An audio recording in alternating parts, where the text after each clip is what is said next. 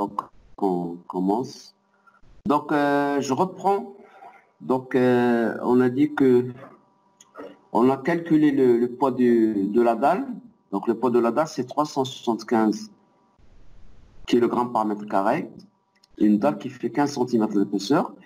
Puis on a le poids de revêtement qui fait 250 kg par mètre carré.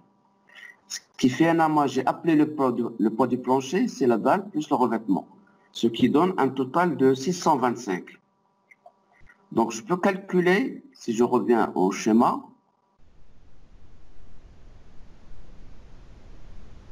donc voilà ma, mon plancher, c'est une dalle rectangulaire, donc je peux calculer le poids du plancher.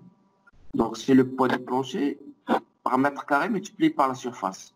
Donc c'est-à-dire 625 fois euh, la dimension horizontale 12 fois la dimension verticale 10.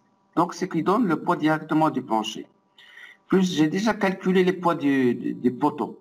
Donc, j'ai 8, poteaux. Je connais le poids du poteau, c'est 6, 300 kg. Donc, le poids des, 8 poteaux, c'est 300 fois 8. Plus le poids des voiles, j'ai les voiles V1, V2, V3. J'ai déjà calculé les poids des voiles. Chaque, chaque voile, il a un poids de 6000 kg donc le poids de trois voiles, c'est 6000 fois 3. Plus j'ai déjà calculé les, poids des voiles V5 et V4. Le poids des, euh, des voiles V5, c'est 9000 fois 2, parce que c'est le poids de voile 5 plus le poids du voile 4. Donc ça, c'est la charge permanente totale. Donc je le calcule rapidement. Plus une fraction de la surcharge. La surcharge, puisqu'on a un bâtiment de bureau, c'est 250 kg par mètre. Donc c'est 250 fois la surface fois 12 fois 10 fois 0,2 parce qu'on a le coefficient qui est donné par le, règlement psi à 0,2. Et on a directement le, la masse du plancher.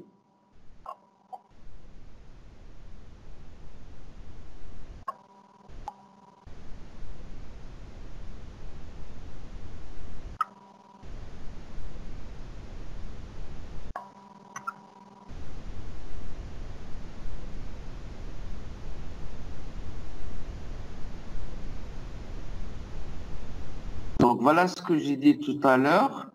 Donc on a le poids des planchers, dans, dans les charges permanentes. Le poids de la dalle plus le poids de revêtement, c'est 625 fois la surface de plancher, 12 fois 12 fois 10, plus les poids des poteaux. On a 8 poteaux.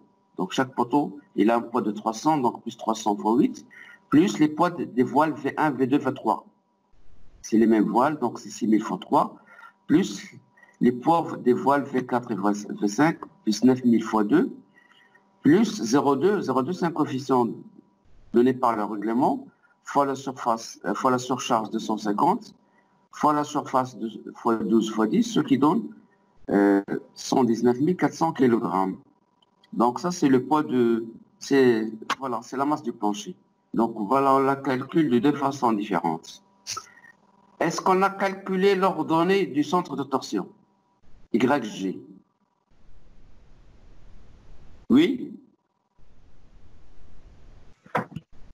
Pas encore, monsieur. Pas encore, voilà.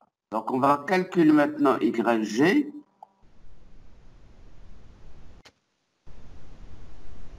Maintenant, pour calculer YG, on va considérer les masses des axes horizontaux.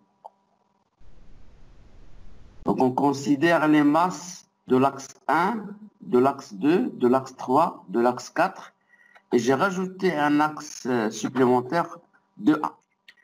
Si je vous demande de me calculer la masse de l'axe 1, à votre avis, comment on peut la calculer Donc l'axe 1, j'ai le, le poteau A1, j'ai le voile V5 et j'ai le poteau D1. Comment on peut calculer la masse de l'axe 1 ماشي حسبنا لا ماس ديال الاكس 1 والاكس 2 و3 وال 4 3 و 4 بحال 1 و 2 فوالا بقينا غير الاكس اللي الوسطاني اللي زدنا حسبنا 2 ا 2 ا هو اللي بقى هو اللي بقى صافي دونك 2 ا عندنا في 2 ا عندنا لي فوال في 1 في 2 في 3 حسبنا لي شارج ديال لي فوال في 1 وفي 2 بحال بحال حسبنا لي شارج ديال لي فوال في 3 Donc on fait la somme des charges permanentes d'hélome, plus 0,2 fois la, somme des surcharges d'ILOM, tout simplement. Donc finalement, la masse de l'axe de A est la suivante.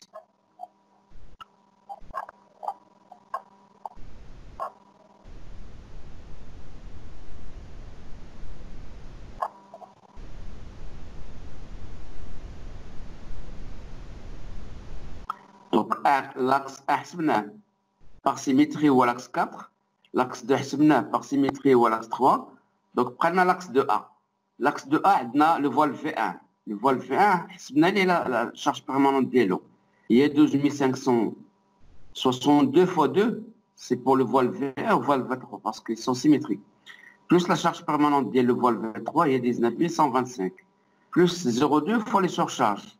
Plus 0,2 fois 2625, il y a la surcharge de le voile V1 fois 2 pour avoir V1, v, 1 v V2, pardon, plus la surcharge des le voile V3, 5250. Donc le taux, il donne une masse de 45 825 kg, qui est égale à 45,83 tonnes. Donc on a calculé les, les masses des axes horizontaux, les axes 1, 2, 3, 4 et 2A. Donc l'axe 2A, c'était obligatoire on la rajoutait pour les voiles V1, V2, V3, parce qu'ils passe pas le centre de ces trois voiles. Maintenant, pour calculer l'ordonnée euh, du centre de torsion, je dois calculer les ordonnées de, de ces axes, l'ordonnée de l'axe 1, 2, 3, 4 et 2A. Puis j'applique la règle.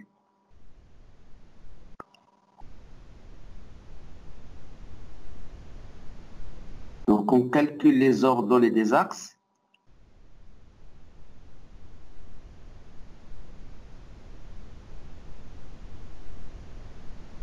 Voilà.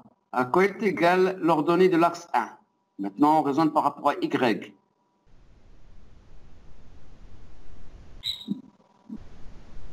0,1 ».« 0,1 », exactement. Donc voilà l'axe 1. Donc son ordonnée, c'est cette distance. Donc depuis l'origine jusqu'à l'axe. Donc c'est 0,1. Ensuite, l'ordonnée de l'axe 2. C'est combien 3. 3. 3, exactement. L'ordonnée de l'axe de a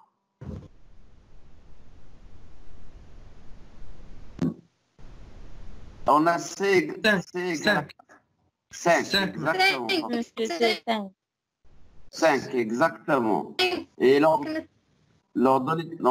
de l'axe A, l'axe de a c'est 5. L'ordonnée de l'axe 3 7. Exactement. C'est abc et l'ordonnée de l'axe 4. 11 vers Bruno. Euh, euh parce qu'on a... Voilà, 10 moins 9,9. Exactement. Donc on peut calculer maintenant l'ordonnée du centre de, torsion, de centre de gravité des masses.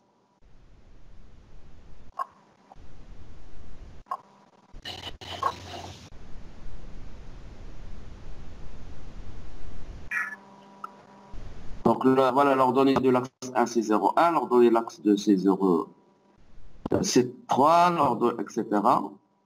Leur de l'axe 3, c'est 7, L'ordonnée de l'axe 4, c'est 9,9, L'ordonnée de l'axe 2A, c'est 5. Puis on fait le produit comme ce qu'on a Donc c'est sigma WI, i sur sigma WI. Donc on a les max, on a les masses des axes. Oui. Monsieur, s'il vous plaît, arrête de faire la chouille. Hein. Oui. Ça va, ça va. Donc, si vous, monsieur, vous êtes euh, euh, le plus bel. C'est bon, Adam Oui, monsieur, c'est bon. Merci. Monsieur, ça fait merci. Si. C'est bon, 12, la, deuxième page Oui, monsieur, c'est bon. Merci. D'accord. Donc voilà, on a, on a calculé maintenant l'ordonnée du centre de tension. Donc je vous donne une minute, puis on passe à la... Oui, monsieur. On continue. Donc maintenant, on va calculer euh, la force sismique. Donc ici, on a trois phases à faire on calcule la force sismique globale, puis on répartit la force sismique sur les étages. Ensuite, on répartit les forces sismiques sur les étages, sur les différents voiles. Pour calculer la force sismique, la force sismique suivant le règlement RPS 2011, donc je vais le préciser ici, comme ça. Pas de... Donc ici, c'est RPS 2011.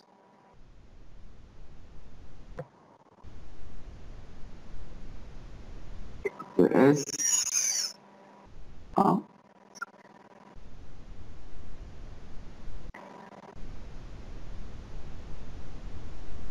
Não?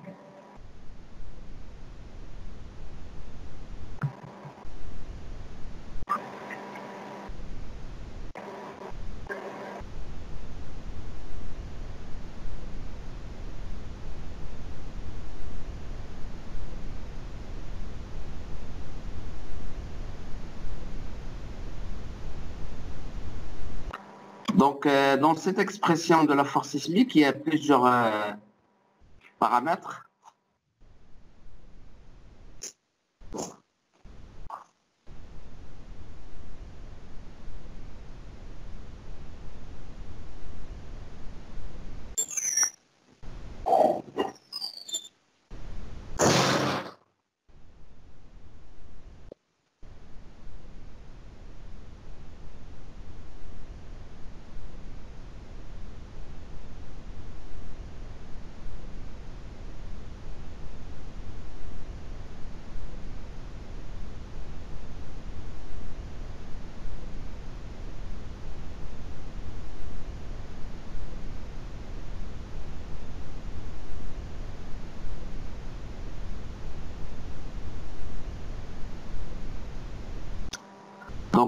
dans l'expression de la force sismique, en Wt, c'est la masse totale du bâtiment.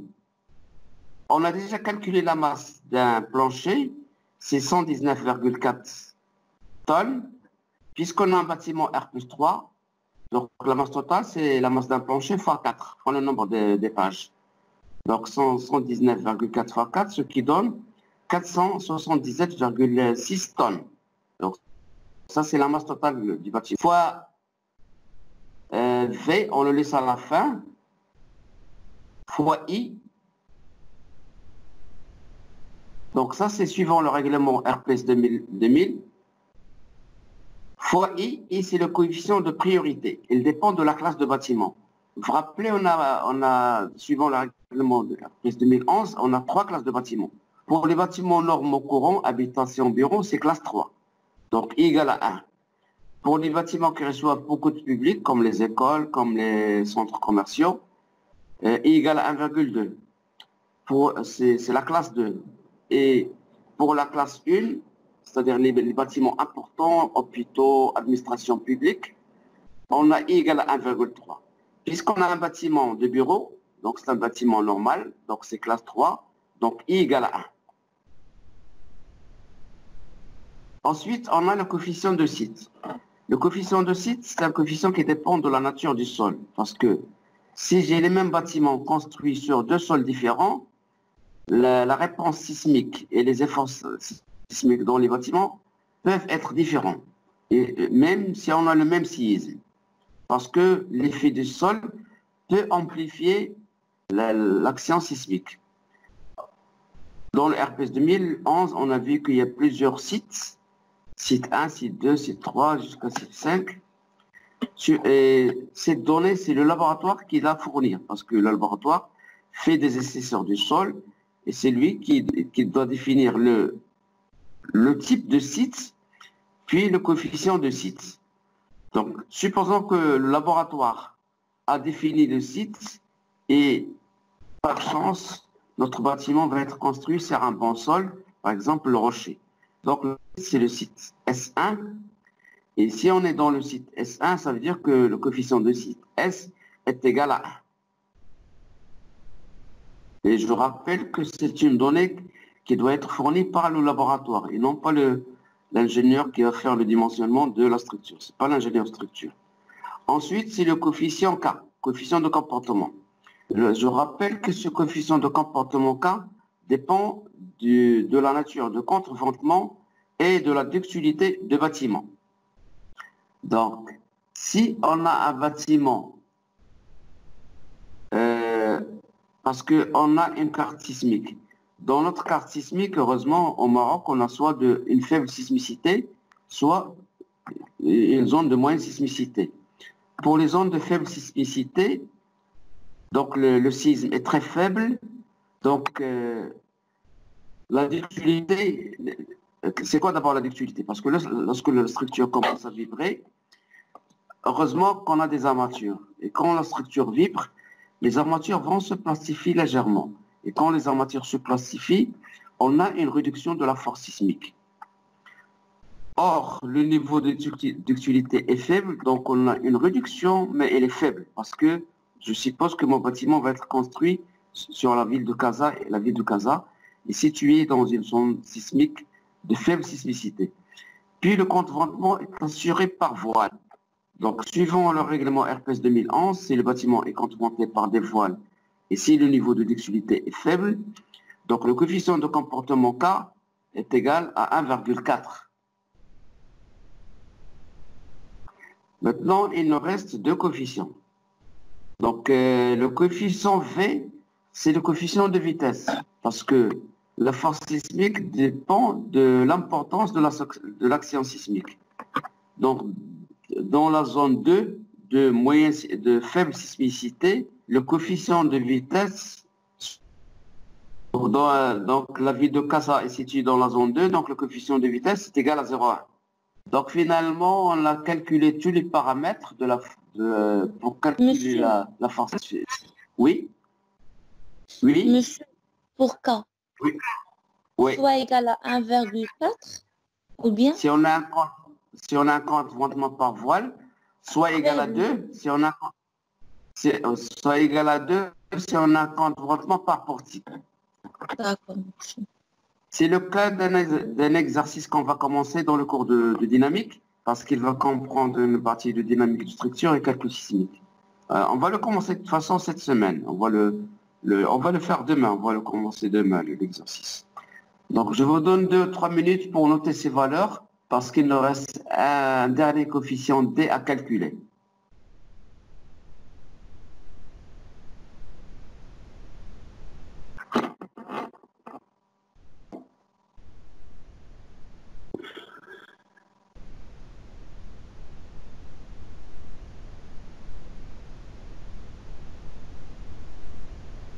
Monsieur.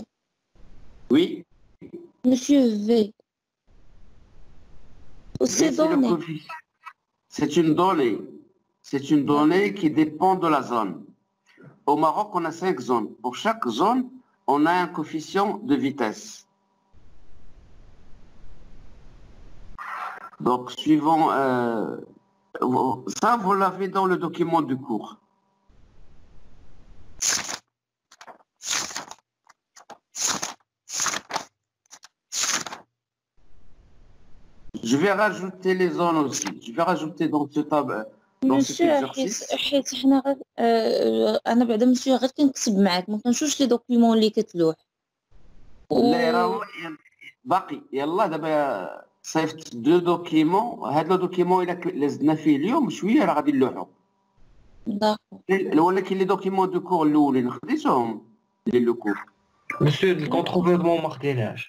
نو مسيو انا مثلا انا قلت لك مسيو ما كناخذش سميتو الدوكيومون اللي كتلوح غير داكشي مسيو اللي كنديرو معاك هو اللي كن... بلاتي دابا اليوم انا غنلوحهم لكم دي دوكيمون الا لحتم دابا اليوم في لا بلاتفورم كلشي توصلوا به ياك وي مسيو وي مسيو صافي انا انا اليوم غنلوح لكم هاد لو دوكيمون اللي خدامين فيه ونعاود نلوح لكم ديال فونتمون هاد جوج بعدا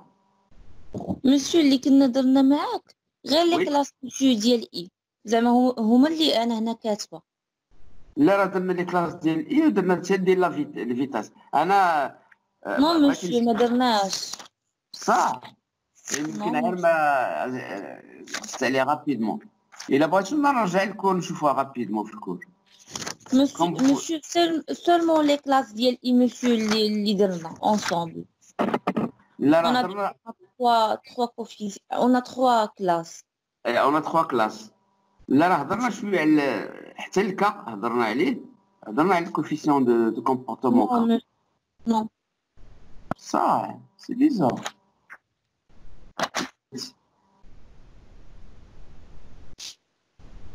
بلاتي document للدوكيمون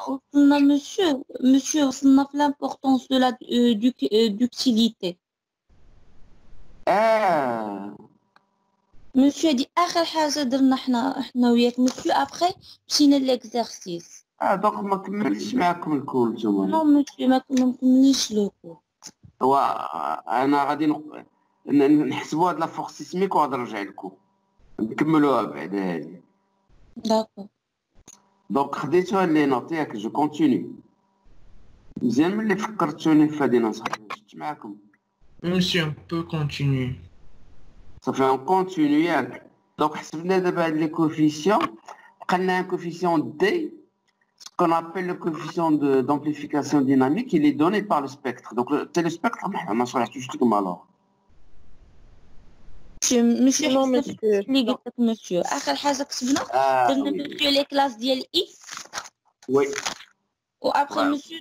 monsieur ah, صافي هي اخر حاجه من درنا درنا لي زون زعما لي ديفيرون زون اللي عندنا صافي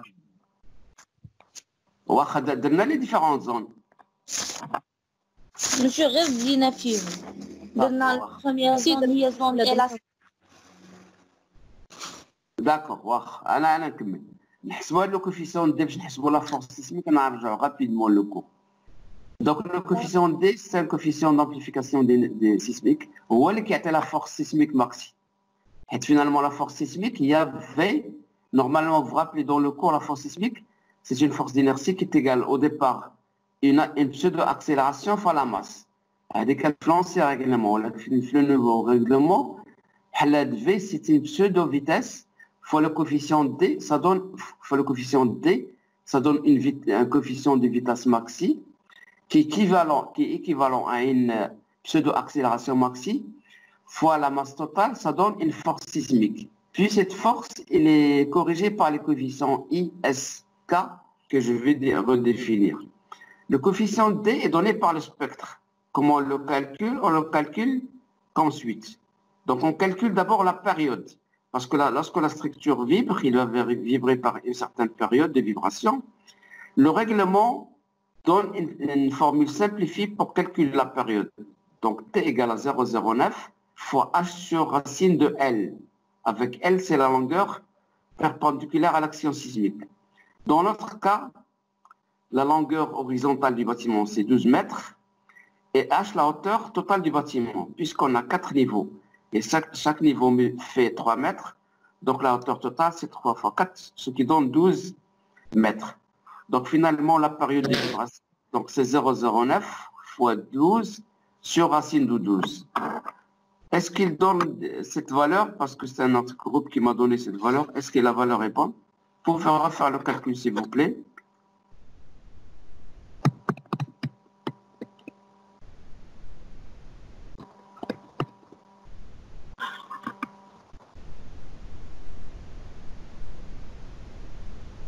Monsieur, 0,331. 311. Euh, c'est bon, donc c'est à peu près juste. Donc c'est 0,31. Donc on a calculé la période de vibration et à partir de la période de vibration, on calcule le coefficient D. Donc le coefficient D, c'est le règlement qui donne le coefficient D. Voilà le tableau euh, pour calculer le coefficient D. Ici, on a en fonction de la période. Est-ce qu'il est inférieur ou égal à 0,25 ou bien est-ce qu'il est supérieur à 0,25 et inférieur à 0,5 ou bien est-ce qu'il est supérieur à 0,5 Puis on a trois lignes pour calculer la période. Parce que dans le règlement, on a trois cartes. On a la carte euh, qui définit les zones de vitesse et on a une carte qui donne les zones d'accélération. Et il se peut que en général, les grandes villes, lorsqu'on considère une grande ville, souvent la zone de vitesse est égale à la zone d'accélération. Par exemple, Casa est situé dans la zone 2, euh, par rapport à la vitesse et la zone 2 par rapport à l'accélération. Ça veut dire le rapport zone de vitesse, zone d'accélération sur la zone de vitesse est égal à 2 sur 2 est égal à 1. Donc on lit dans la deuxième ligne. C'est le cas général des grandes villes. Par contre, il y a des petites villes où trouver la zone de vitesse, la zone d'accélération, la zone de vitesse supérieure à 1, dans ce cas, on va lire dans la première ligne. Ou bien, lorsqu'il est inférieur à 1, on va lire dans la deuxième ligne, dans la troisième ligne. Mais dans la plupart des cas, les grandes villes, on lit dans la... Par exemple, dans Casa, donc, le rapport est égal à 1, et on va lire dans la, première, dans la deuxième ligne, et lorsqu'on lit dans la deuxième ligne, il faut voir, puisqu'on a trouvé notre euh, période T, il est égal à 0,31. Ça veut dire qu'il est supérieur à 0,25 et inférieur à 0,5. Donc, la valeur de D est égale dans ce cas, donc on va lire dans la deuxième colonne, D égale à moins 2,4T plus 3,1. Donc voilà, donc, euh, puisque t égale à 0,31, donc t égale à moins 2,4t plus 3,1, donc ce qui donne t égale à 2,35. Est-ce que vous avez compris comment on calcule le coefficient d Est-ce que vous avez des questions pour le calcul du coefficient d Non, monsieur. C'est bon. Donc c'est comme ça que donc, une fois le coefficient donc décalculé, donc je peux calculer la force sismique totale. Puisque j'ai 80,16. Voilà, exactement. Tout à fait, tu as raison. Donc, euh, notre groupe m'a donné 80,17. C'est la bonne valeur. Donc, on a calculé la force euh, F globale. Est-ce que je, reviens rapidement sur le cours ou bien je, euh, on, euh, on passe au cours à la fin. On continue l'exercice, quand vous voulez. Monsieur, je crois qu'on continue l'exercice, D'accord, d'accord, on continue l'exercice. Donc on a calculé la force sismique. Maintenant, suivant le RPS 2011, on va répartir la force sismique sur les étages. Voilà comment on répartit la force sismique.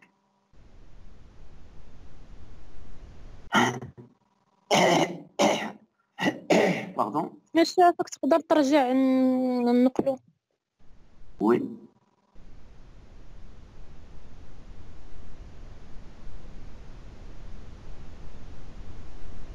هاد لو طابلو بلا ما تنقلو راه غادي هاد فاصون راه غنساليو هاد ليكزارسيس راه غادي اليوم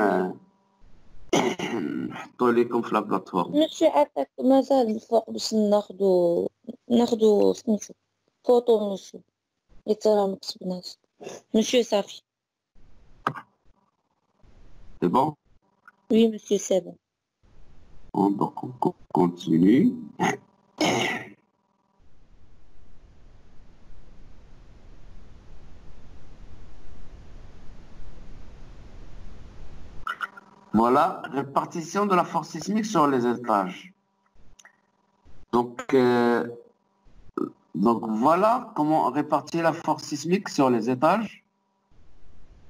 Je, je réduis si je suis là.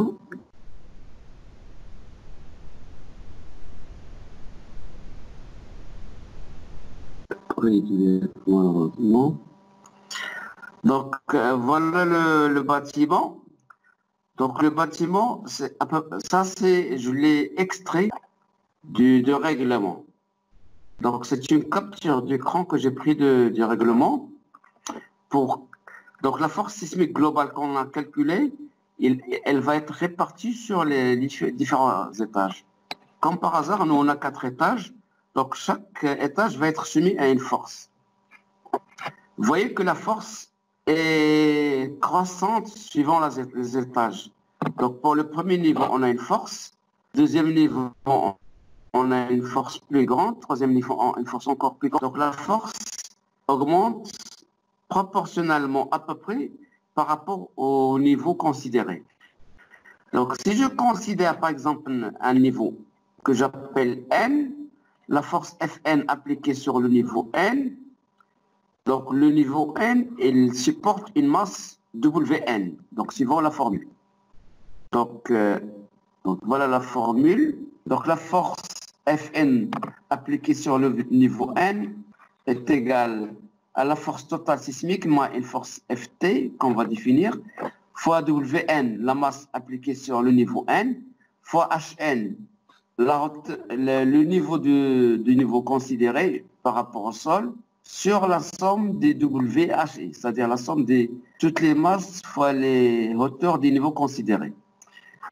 Dans cette formule, on a une force Ft. Si la période est inférieure à, égale euh, au, au à 0,7, Ft égale à 0. Ça, c'est lorsqu'on a des, bâtiments faibles, des bâtiments qui ont de faibles hauteurs, c'est-à-dire des bâtiments euh, à peu près qui ont des niveaux on peut aller jusqu'à R plus 7, R plus 8. Mais dès qu'on dépasse par exemple R plus 10, le bâtiment va être plus grand, T va être supérieur à 0,7, et dans ce cas, on doit tenir compte d'une force Ft égale à 0,07 fois T fois F qui va être appliquée au sommet supérieur des bâtiments. Dans notre cas, on a trouvé T est égal à 0,31, inférieur à 0,7. Ça veut dire que Ft égale à 0. Donc la formule va être simplifiée. Donc finalement, Fn égale à F fois Wn, Hn, donc il va être écrite sous la forme suivante. Bon. Égale à 0. Donc voilà la force Fn. Fn égale à F fois Wn fois Hn sur Wi, Or, euh, les masses puisqu'on a considéré un étage courant. Donc, euh, tous les étages, ils ont la même masse. Donc, la masse est constante. Ça veut dire, quel que soit n, euh, la masse est égale à W. Donc, pour n égale à 1, W1, W2, W3, W4 égale à W. Et W1, c'est la masse du premier niveau, W2, la masse du deuxième niveau, W3, la masse du troisième niveau, W4, la masse du quatrième niveau, et la masse est constante. En général, la masse va être différente pour le dernier niveau, parce que les étages courants sont similaires. Si on a un bâtiment rectangulaire, sauf que pour le, dernier niveau, souvent parce que le dernier niveau, on a la forme de pente et la protection de l'étanchéité, ils sont un peu lourds. Ce qui fait que le, dernier, la masse du dernier niveau est légèrement supérieure à la masse des autres étages. On suppose ici que la masse est constante pour simplifier. Donc on a les masses des différents niveaux. Maintenant, les hauteurs HI. Donc pour le niveau 1, H1 égale à 3. C'est la distance entre le niveau et le sol. Pour le niveau 2, H2 égale à 6 mètres. C'est la distance entre le niveau 2 et le sol. Puisque le, niveau 2 il va être situé à 6 mètres par rapport au sol. Pour le niveau 3, H3 égale à 9 mètres. Pour le niveau 4, H4 égale à 12 mètres. Est-ce que c'est bon Est-ce que voilà, vous, avez une remarque ou bien une question Je dis toujours le son, machine on te hauteur entre plongée. Là, exactement. Dis-moi par rapport au sol. Voilà. Monsieur entre plonge. Tout à fait.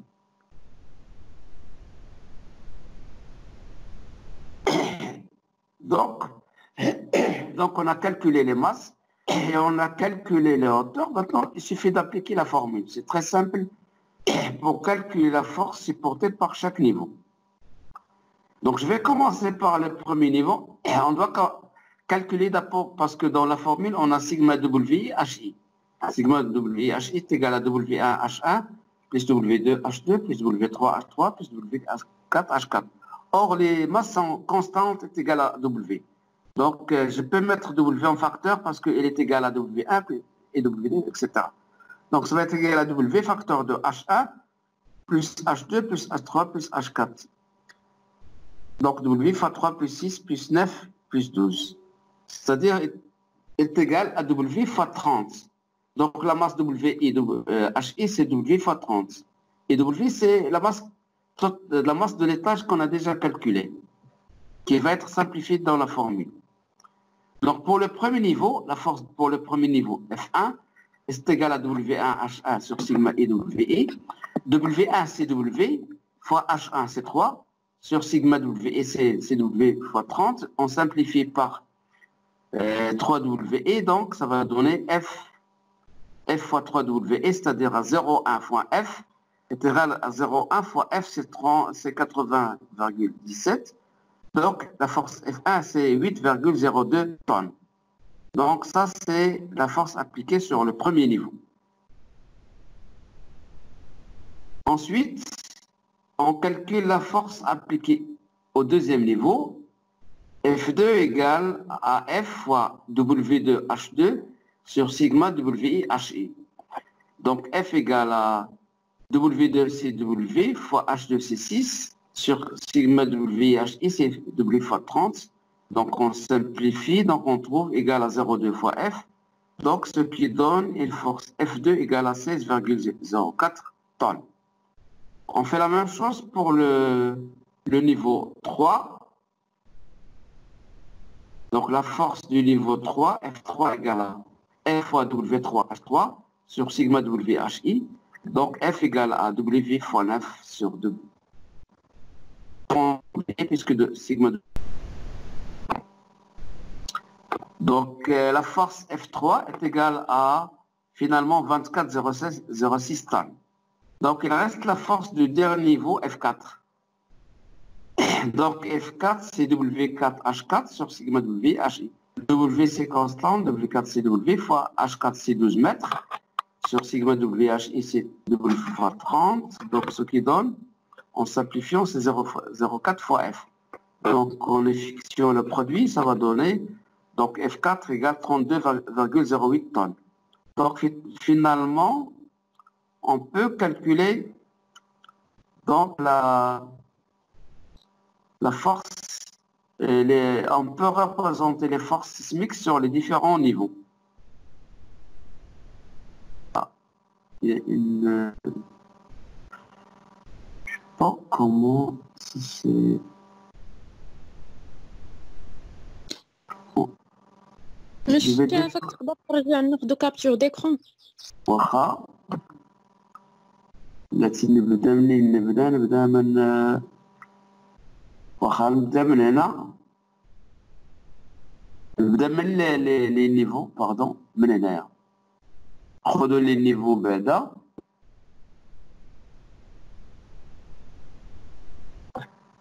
C'est bon C'est bon, monsieur. Donc la suite, on doit de la partie.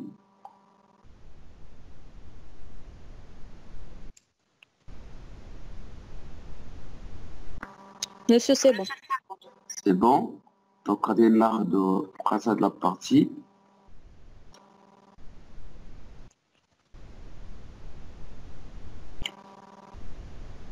Monsieur Saf, c'est bon. C'est bon.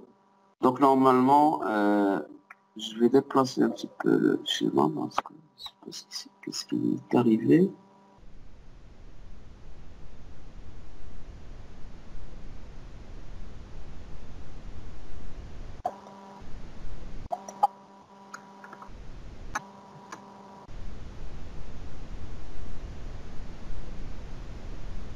Ah, ah, ah, ah. Je dois retirer. Le problème, je ne sais pas ce que, qui s'est produit. Allez, moi je kiffe le schéma, je ne sais pas.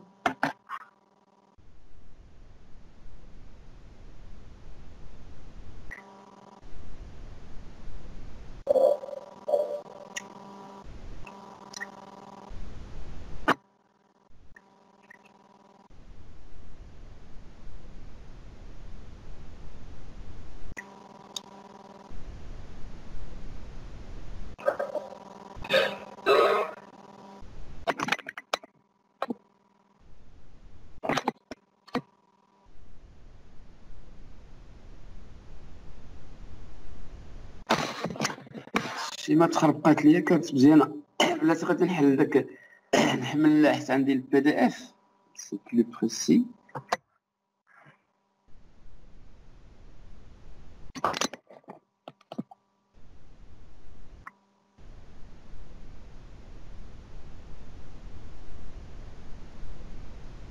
على نحل البي دي اف حيت جي ان بروبليم هنا في الشيما c'est bon maintenant parce que tu as la PDF, tu as le Word. Euh, oui, c'est bien maintenant, monsieur. C'est bien maintenant, d'abord. Oui. D'abord, parce que tu as ah, le PDF, malheureusement, le schéma, c'est dommage. Donc, voilà le, le bâtiment pour les quatre niveaux et les quatre forces qu'on a calculées appliquées à chaque niveau là les forces ils sont appliquées sur tout le bâtiment. Il faut les répartir sur les voiles. Donc j'ai représenté un petit schéma, un petit schéma, qui représente avec la force F. F, il y a donc les, quatre forces, les, quatre étages. On a de la force F appliquée sur le, bâtiment, il va être supporté par les voiles parallèles à la force, c'est-à-dire les voiles V1, et sont moins les rigides. Donc, la force, il va être reprise par les voiles V1, V2 et V3. Ça veut dire que je dois répartir cette force F sur le voile V1, ou V2, ou V3. Mais le je vais considérer l'autre sens, je dois répartir la force de l'autre sens, elle les voiles V4 et V5. Ça veut dire que dans, dans un calcul complet, il faut considérer les deux sens Il va être reprise par les voiles V1, V2, V3.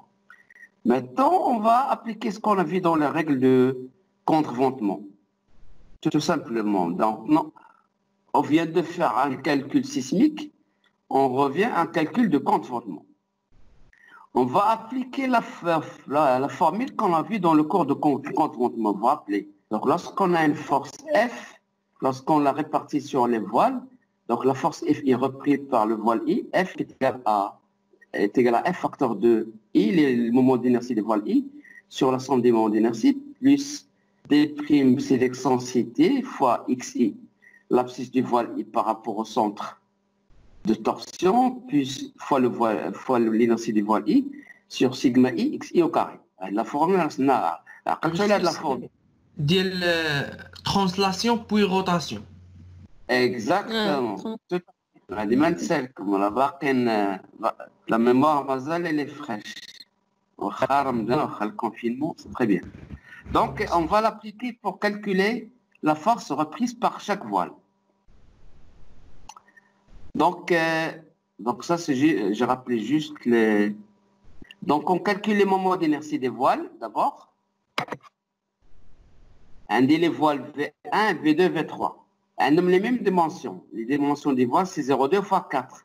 Donc, je, H cube, je rappelle, B, c'est l'épaisseur du voile, et H, c'est la, dimension horizontale des voiles, mais chez la hauteur dialogue verticale. Donc, je le rappelle, H, c'est toujours la dimension verticale, horizontale des voiles. Et il y a la dimension C Monsieur. Oui Monsieur, في الاول فاش كنا كنحسبوا les moments et euh, Je pense le, euh, V5. Oui, monsieur, V4, V4. Derna, 0,2 euh, fois 6 au cube sur 12. Normalement, ça se compte 6 fois 0,2 au cube sur 12. un problème de connexion. C'est quoi la question monsieur monsieur le moment d'énergie filoule le filoule monsieur quand nous avons le moment d'inertie est euh, le V4 d'erna 0,2 fois 6 au cube sur 12 normalement le 6 euh, fois 0,2 au cube sur 12 la blessure la question de debout je considère la force fait le sens là monsieur là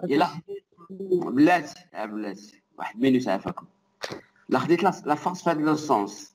Le moment d'inertie voile 1, il y a 0,2 fois 4 au cube sur 12. Ou le voile 2 ou le voile 3. Oui, monsieur. D'abord, dis-moi par rapport à la force, il a le moment d'inertie le voile 5 ou le 4, il y a 6, 0,2 au cube sur 12. Oui, monsieur. Oui. Or, puisque l'équinoxe de la force fait de sens, les moments d'inertie de Badiel la voie 4 ou 5 sont très faibles. Donc, ils vont supporter un effort négligeable. Alors, ah je, je les élimine. Je ne sais pas si je vais l'équinoxe de la force fait de sens. Les 4 ou 5, ah, bah, ils sont inutiles. L'équinoxe de la A, V1, le voile 1 ou 2 ou 3. Par contre, par rapport à une force dans l'autre sens, une force appliquée suivant l'axe de A. Dans ce cas, les voiles V4, voiles V5. Au c'est le moment d'inertie des voiles 4 ou 5, il y 0,2 fois 6 au sur 12. Et inversement, le, moment d'inertie des voiles V1, il y 4 fois 0,2 sur 12, est négligeable. Ce qui fait, je vais négliger les voiles 1, 2, 3 et 4, puisque leur moments d'inertie vont être faibles. Donc finalement, comme règle générale, quand je considère une force dans un sens, des les voiles qui vont participer pour reprendre la force sismique, au moins les voiles parallèles à la force. Les voiles perpendiculaires, ils vont reprendre un petit effort négligeable, puis on les néglige. On de les voiles parallèles à la force, ça veut dire le, le B il y a 0,2, ou le H, il y a la longueur d'élément horizontale. dans ce cas ici, a, la longueur C. Pour les voiles V1, V2 et V3.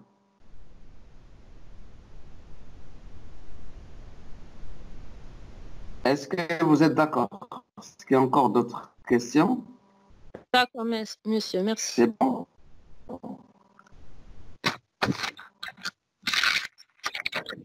Donc on a calculé les, les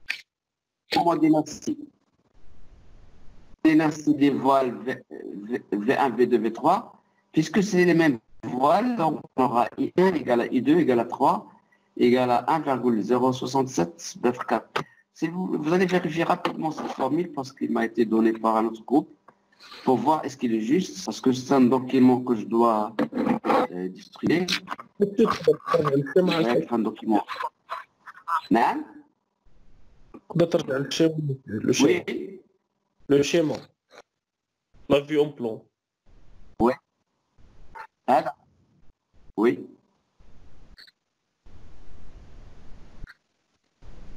Là-dedans,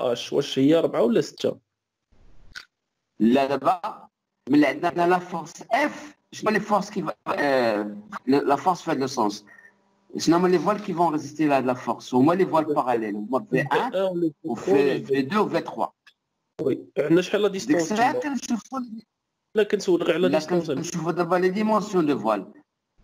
لا distance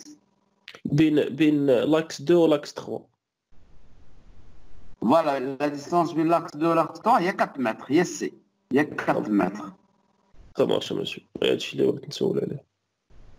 Voilà, il y a 4 mètres, il y a l'air pour calculer le moment d'inertie. il y a 4 à la puissance 4. Est-ce que les valeurs sont justes à comme Oui, monsieur. Oui, monsieur. Juste, si juste euh, si vous voulez bien prendre euh, trois chiffres après la virgule, ça va être 3,201. Oui. 3,201. Sigma des moments d'inertie. Si vous voulez prendre trois chiffres. Euh, c'est des, hein, un peu plus précis, d'accord 3,201. Euh, oui, c'est ça. Yeah.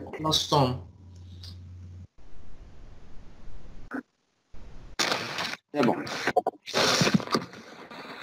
D'accord.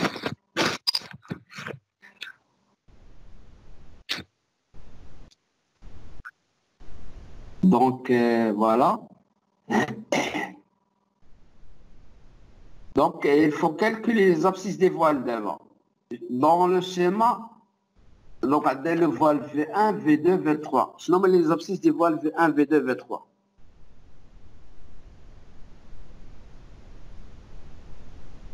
Déjà monsieur. Donc, le repère, dis-moi où le repère l'oulet, non euh, Le c'est 0, voilà. Grand X1, pour le voie 3. Grand X2 égale combien 6. Combien 3 X. Exactement. Voilà, 3 plus 3, 6. X2, 11,9. X2, 11,9. Exactement.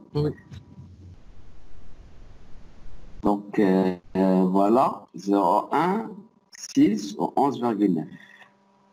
Maintenant, dans la formule, on a c'est les grands xi. Si vous vous rappelez des formes, euh, le cours. La formule, la somme, a une xi. Au petit xi, au moins les abscisses calculées par rapport au centre de torsion. C'est-à-dire les petits xi, voilà comment on les calcule. Donc petit x1, il y a grand x1 moins xo, il y a 0,1 moins xo, on l'a déjà calculé, c'est 6. 0,1 moins 6, il y a moins 5,9. Petit x2, il y a grand x2 moins xo, oh, il y a 11,9 moins 6, il y a 5,9. Au petit x3, il y a grand x3 moins xo, oh, il y a 0. 6 moins 6 égale à 0. Donc vous allez vérifier à de la formule sigma i i au carré. La formule Yvonne, la, la valeur juste Oui, correct. Correct. Très bon. Dans la formule, on a l'excentricité. Donc, vous rappelez l'excentricité D égale à xg moins xo. Or, par, par, symétrie, on a trouvé xg égale à 6 et xo égale à 6. Donc, d égale à 0. Ça veut dire qu'il n'y a pas d'excentricité théorique. Mais le règlement recommande d'ajouter une euh, excentricité supplémentaire. Donc, ce qui donne deux excentricités à calculer. Donc l'excentricité des primes qu'on a dans le, calcul, c'est pourquoi euh, on doit rajouter cette excentricité. Parce que lorsqu'on avait calculé le centre de gravité des masses, on a fait une petite erreur. Parce qu'on a supposé que la surcharge est uniformément répartie, alors que la surcharge n'est pas bien uniformément répartie. Les murs ne sont pas répartis sur la surface ils sont passés dans, certains endroits fixes. Donc finalement, la, charge permanente n'est pas très bien répartie sur la surface, la, charge n'est pas très bien répartie. Et nous, dans le calcul de XG, on a supposé que ces, charges sont réparties. Donc on a fait une petite erreur. Le règlement impose de corriger cette petite erreur. Donc euh, on va faire deux corrections. Première correction, D'1 1 égale à D plus 0,05 fois L. Or, D égale à 0 plus 0,05 fois L. L, c'est la longueur perpendiculaire à la force sismique. Donc, non, dans notre cas, L est égal à 12 mètres. Donc, ce qui donne une première excentricité D'1 égale à 0,6 mètres. Puis, on calcule une deuxième excentricité D'2 qui est égal à D moins 0,05 L, c'est ce qui va donner moins 0,6 mètres. Est-ce que vous voulez prendre des, petites notes ici Monsieur, une capture d'écran. C'est bon. Hmm. Donc, euh, donc maintenant, on a calcul... donc on peut calculer les forces sismiques repris par les voiles. Donc quand commencer par exemple par le voile V1, parce que je ne l'ai pas encore calculé. Donc force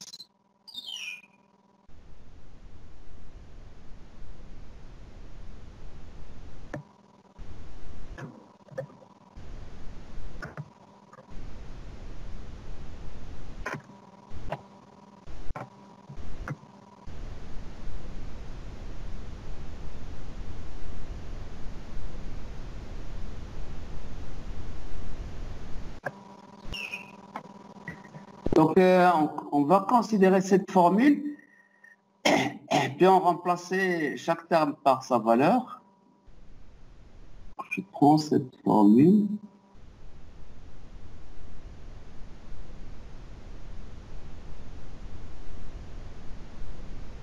Ah, je ne sais pas si je peux copier maintenant.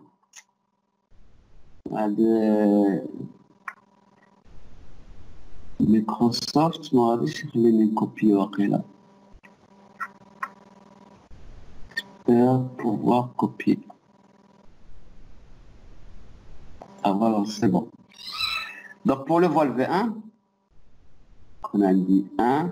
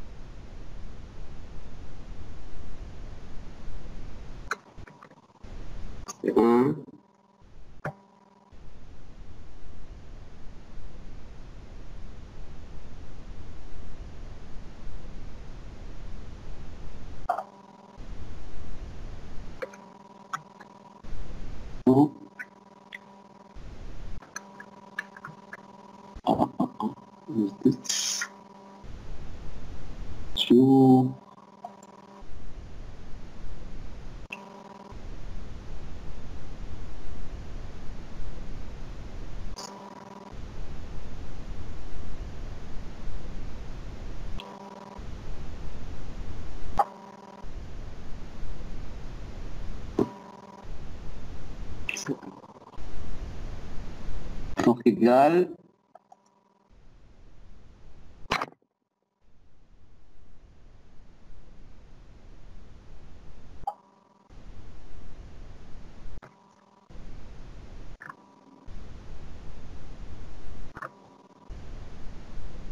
Donc, euh, je vais copier une deuxième fois cette formule.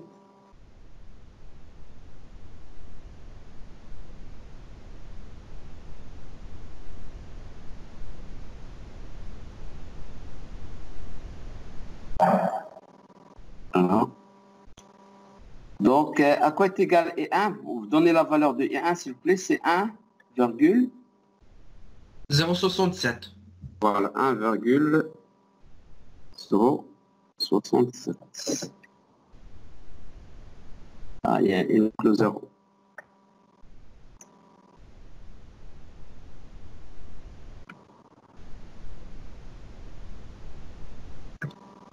Ensuite, et le sigma e.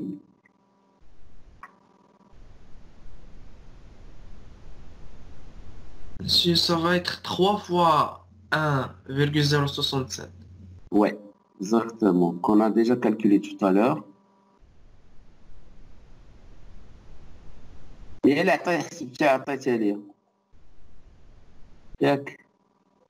Oui, ah oui.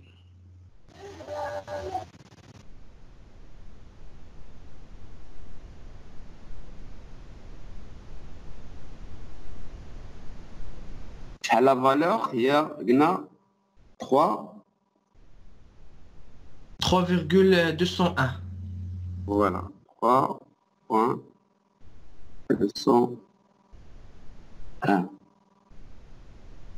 Ensuite, là, on doit faire attention. Double dénominateur ou les elle.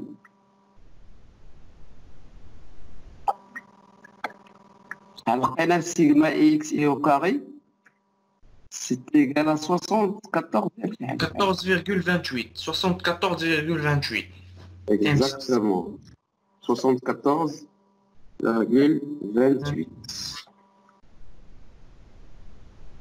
Voilà. On a le premier terme. Donc le premier terme fait trois termes qu'on va... X1, X1 c'est moins 5,9.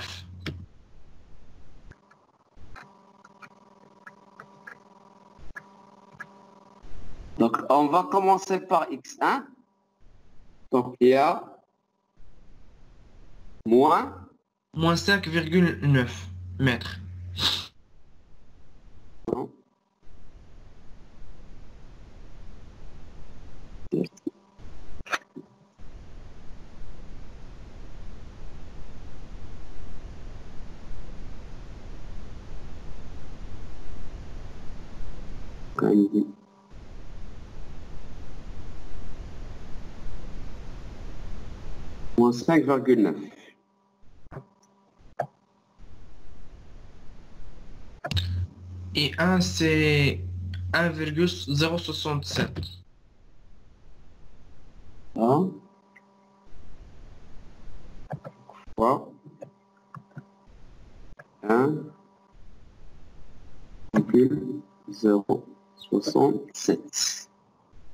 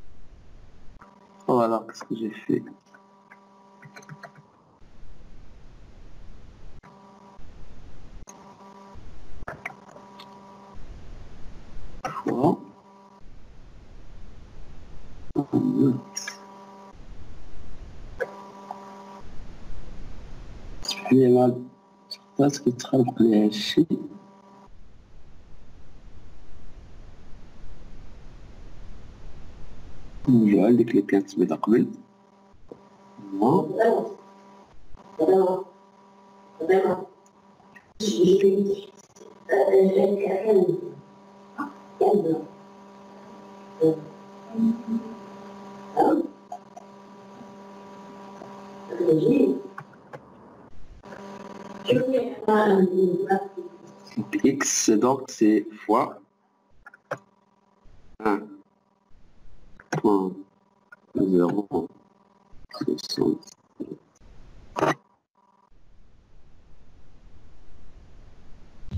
Monsieur X1, il y a moins, 5,9. Ah, ouais, exactement. X1 égale Voilà, là, moins 5,9. Ah, déjà X1. Et avec, on a d'abord le D. C'est deux valeurs. Monsieur, le D Il est XG XO. Voilà, le D, hein, le D, on a deux valeurs. On a de la valeur défavorable. prendre 06 ولا des غادي moins 06 Moins 06 هي اللي la لا هي la à la Oui, monsieur.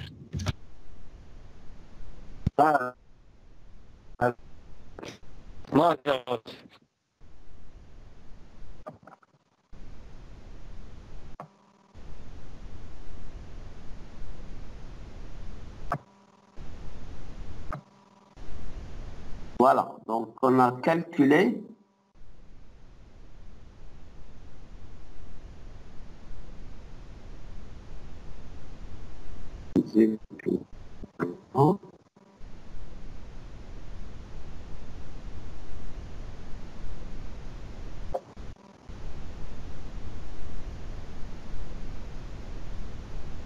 donc égal. Sur le premier terme, f facteur 1 sur 3. Ça, attendez le Kem. là. Attendez le cam là. Attendez 0384F. 0 384F. 24.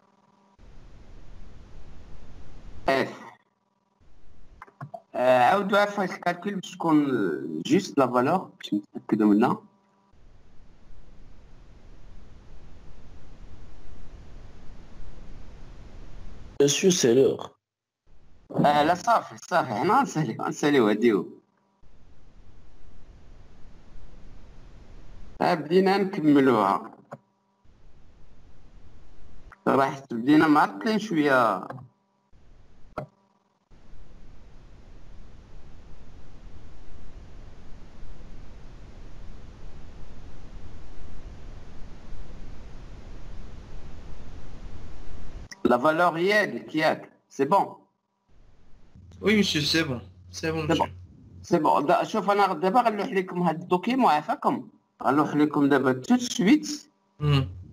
La plateforme, vous voulez voir les voiles puis c'est maintenant dans le dimensionnement de la semelle filante et les voiles. Hmm. D'accord Oui, monsieur. Donc, on va vous tout de suite. Je vais vous donner tout de suite. C'est bon le monsieur Saft les national cours dès le contrôleur. Voir, je vous en ai le seul. Voilà.